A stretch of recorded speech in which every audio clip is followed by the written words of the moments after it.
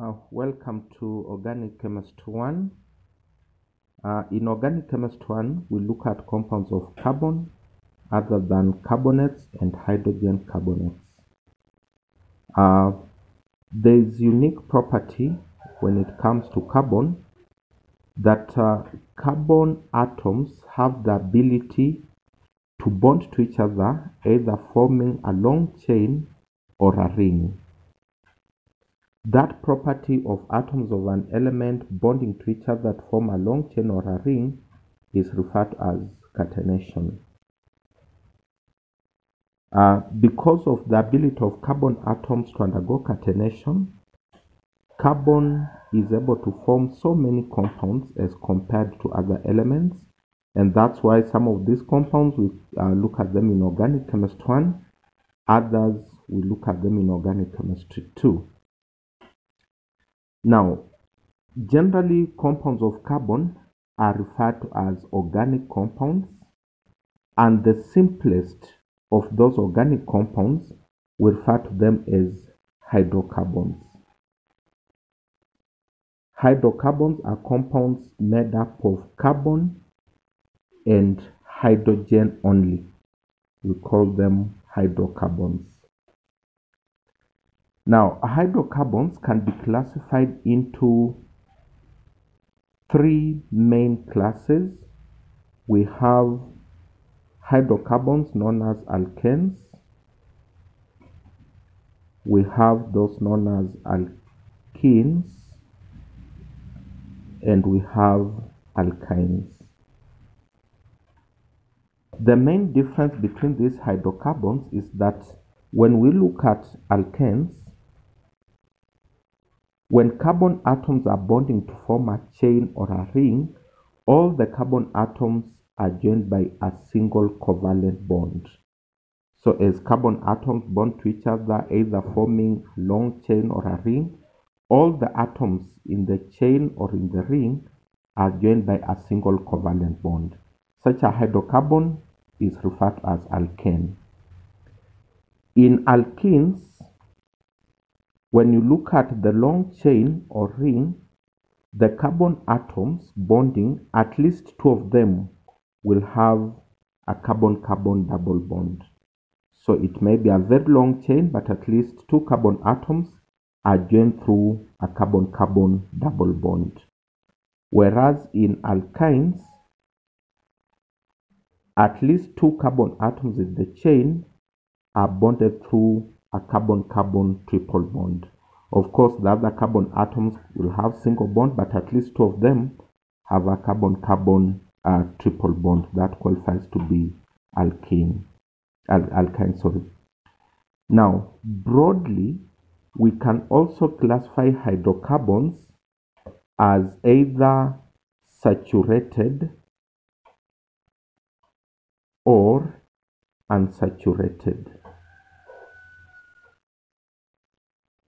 The difference here is when we talk of saturated hydrocarbon, those are hydrocarbons in which all the carbon atom in the chain or ring are holding or are bonded to the maximum number of hydrogen. Such hydrocarbons are referred to as saturated and here alkanes are saturated hydrocarbons because when you look at alkanes, all the carbon atoms would be having the maximum number of hydrogen atoms bonded to each carbon atom. However, if any one carbon is bonded to less hydrogen, then we refer to that hydrocarbon as unsaturated. And here is where we have alkenes and alkynes. Because of the presence of uh, a carbon-carbon double bond or triple bond in alkynes, they don't have the maximum number of hydrogen atom bonded to them and therefore we classify them as unsaturated hydrocarbon.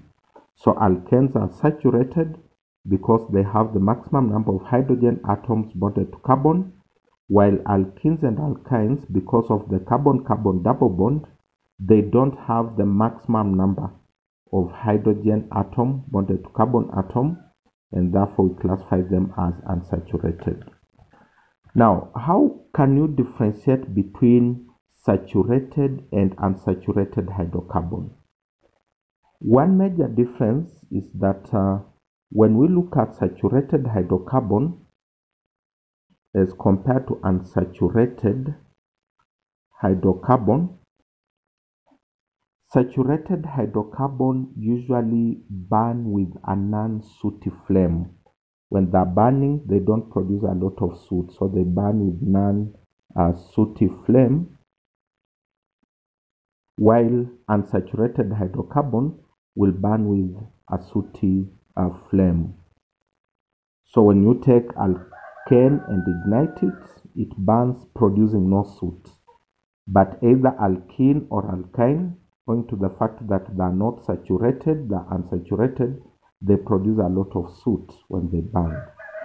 The other difference is that uh, when you add acidified potassium manganate 7 to, uh, to saturated hydrocarbon, uh, the acidified potassium manganate 7 remains purple.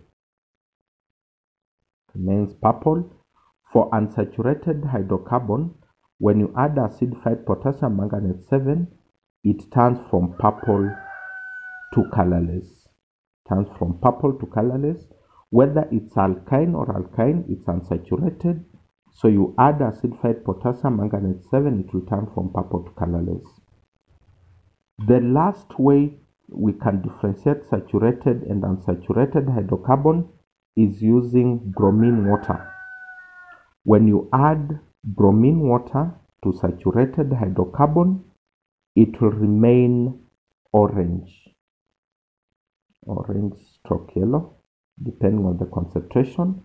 However, when you add to unsaturated hydrocarbon, bromine water will turn from orange to colorless, orange or yellow to colorless, depending on the concentration.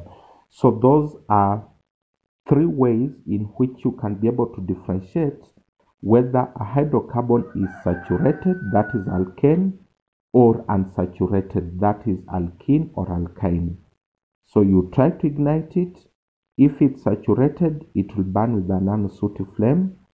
But if it's unsaturated, it will burn with a sooty flame. It will produce a lot of soot as it burns. When you add acidified potassium manganate 7 to a saturated hydrocarbon, it remains purple. But when you add to unsaturated hydrocarbon, it will turn from purple to colorless. And finally, when you add bromine water to a saturated hydrocarbon, it remains orange or yellow, but in unsaturated hydrocarbon, it turns from orange or yellow uh, to colorless.